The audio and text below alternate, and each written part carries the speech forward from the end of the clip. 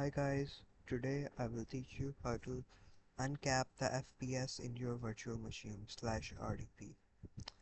Now first of all open RDP, then search registry editor, then click as run as administrator and allow and give it the permission.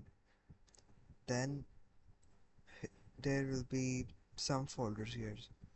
You will need to open the local machine folder then system current control set control terminal server and then WinStations now once you are at WinStations you can right click new and create a new dword value.